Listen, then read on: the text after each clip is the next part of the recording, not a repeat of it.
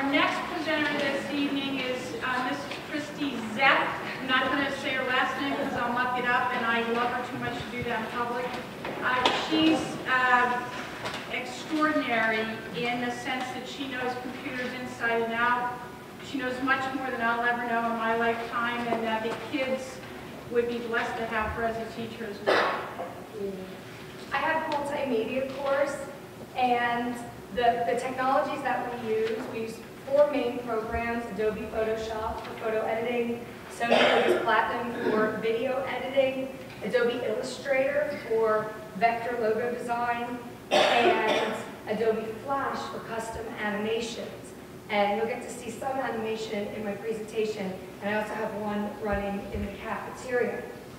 The business side of my course is showing the students how these programs are used in industry. So there's a lot of focus on marketing and advertising.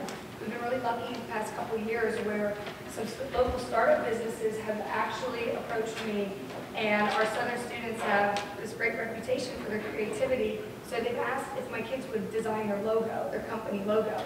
And we just had a competition this semester where my students had an opportunity to compete for a cake business. And um, the owner of the business selected one of their designs through Adobe Illustrator for the company, which is pretty cool.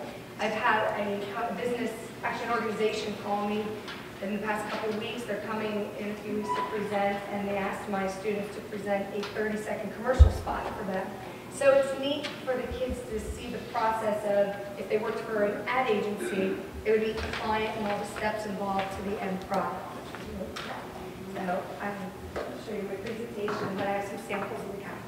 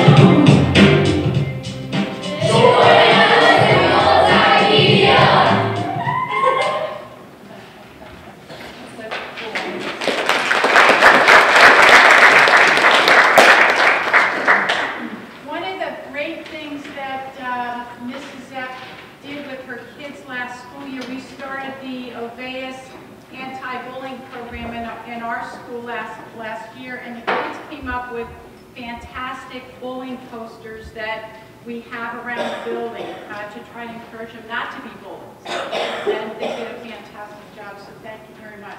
Our next